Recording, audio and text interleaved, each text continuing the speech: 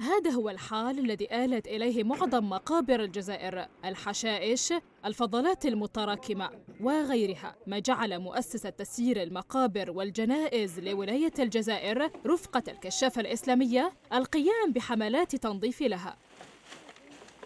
لو هذه الأمة ما ترفعش الغبار تنفش الغبار على نفسها وترجع لرشدها وتحسن المقابر وتحسن الأموات لأنه رايح مهما طلب السن تاعو لابد يجي نهار وين يندفن. ولا كان يقبر القبر نتاعو يولي مزبلة حنا نرفدوا يدينا فوق رصاننا الموتى ليسوا أفضل حال منا. هي أحد شعارات هؤلاء الفاعلين في تنظيف المقابر. فروح المبادرة والحس التطوعي لتحقيق الهدف حاضر بقوة. من أجل مقابر نظيفة تليق بموتانا. عندنا الحشيش نقيو الحشيش كلش. الحشيش آه، القرع اللي يرميوهم الناس اللي يعني كاع الفضلات هذيك نرفدوهم.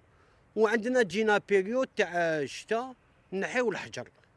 كي هنا يحلوا قبر يحلوا القبور يكسروهم يعاودوا يبنيو يقعدوا هذاك الحجر هذاك نرفدوه. نطلبوا من الأمة شبابها بكشافتها بجميع هيئتها ونخبها يشاركوا في هذه الأعمال التطوعية سواء في المقابر في فيما ينفع المجتمع وفي نقاوة البيئة ككل.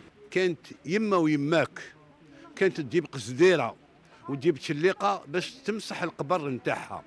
اليوم ولاو الناس يجيبوا القرع نتاع البلاستيك دي ميلي نتاع القرع نتاع البلاستيك مرميين داخل الجبانات. وهذا مستحيل علينا هذا عيب وعار علينا. إعادة الهيبة لمقابرنا وإعطائها منظرا محترما هو مسؤولية الجميع بعدما اجتاحتها سلوكيات بعيدة عن ديننا الحنيف.